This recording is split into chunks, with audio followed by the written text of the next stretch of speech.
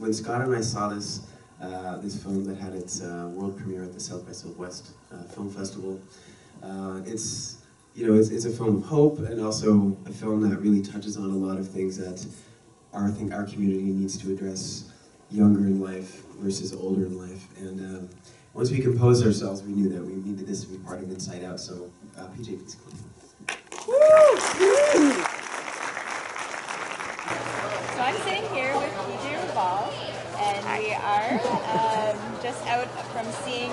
Film Before You Know It, which I felt was absolutely amazing. Uh, Thank you. Really opened up my eyes to the issue of elders in the LGBT community.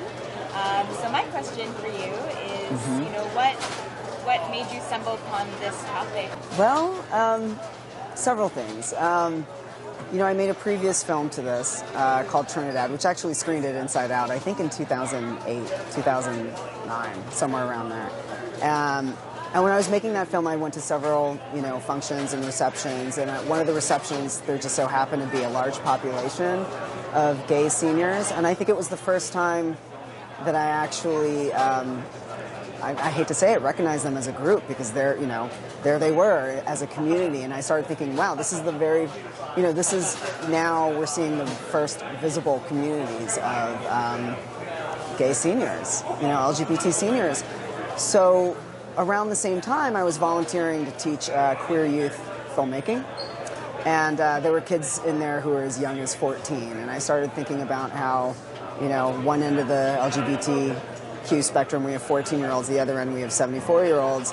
And are they aware of each other? You know, do the 14 year olds know what this generation went through when they were 14, for instance? Um, do they recognize that some of them are still struggling with their sexual identity and you know, around the same time, I started talking to my mother about. Uh, she was thinking about retiring, and you know, just everything that goes into into that. You know, emotionally, financially, um, how it's a change in your lifestyle. And so I started thinking about, well, what are things going to be like when I'm 74, and what are some of the issues that we're looking at uh, when we're talking about aging.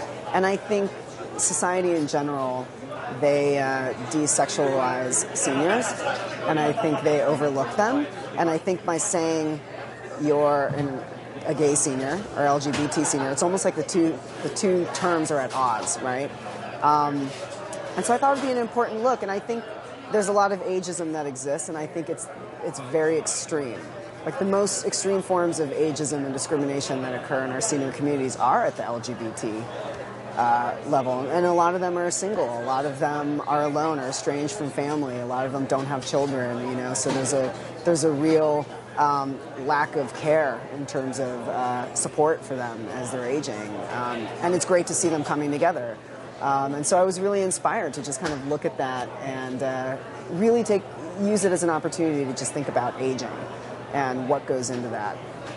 What has it been like for you to screen at um, Inside Out as know this the largest uh, LGBT festival in Canada, and your film really strikes a chord with that community wholeheartedly. You know, what, what has that been like for you? It's been great. I mean, I love this festival. So when uh, you know Andrew and Scott invited the film, I was like, yes. I said on one condition that I get to come, you know, because I really love, yeah, I really love Toronto. I love um, the audiences here. I think it's really great, and uh, yeah, it was just really wonderful to to screen it. And um, and I don't know if you know this, but this is the first time I've actually screened it for an LGBT audience. So it was really great, and you know, I sat through the screening half the time just kind of Looking, looking up, wondering what people around to see what the reactions were, like paying attention to when people were laughing, and and it's great because there's a lot of, I feel like there's a lot that different communities get from this, but particularly, you know, particularly the LGBT community gets also some of the inside jokes and some of the winks that are happening,